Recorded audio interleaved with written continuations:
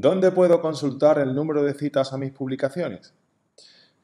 Existen tres grandes bases de datos que nos ofrecen el número de citas de las publicaciones que tienen indexadas. Web of Science, Scopus y Google Académico. La forma más rápida de acceder a una base de datos es buscarla en nuestro buscador principal por su nombre. En este caso nos vale con sus iniciales, W o S. El buscador nos mostrará el enlace de Web of para acceder a la base de datos junto con una pequeña descripción de su contenido. Pulsamos y accedemos a la web de entrada de la base de datos en la FECID y en ella pulsamos el nombre Web of y con ello ya estamos en el buscador de WOS.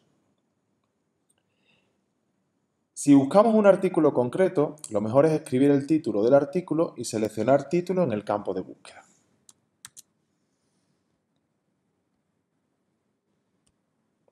Pulsamos en Buscar y nos aparece el registro del artículo, señalándonos el número de citas que tiene en ese momento.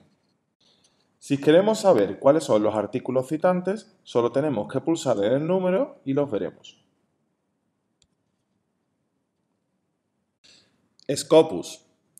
Para localizar el número de citas de un artículo en Scopus, también debemos acceder a la base de datos a través de la web de la biblioteca buscándolo en el buscador principal por su nombre. El buscador nos mostrará el enlace de acceso y una descripción de Scopus, Pulsamos y accedemos al buscador de Scopus. Igual que hemos hecho en Web of Science, si buscamos un artículo concreto, lo mejor es escribir el título del artículo en la caja de búsqueda. Pulsamos en Buscar y nos aparece el registro del artículo, señalándonos el número de citas que tiene en ese momento.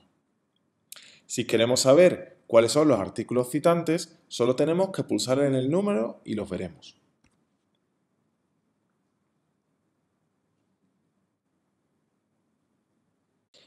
Google Académico es una plataforma abierta y gratuita a la que podemos acceder directamente.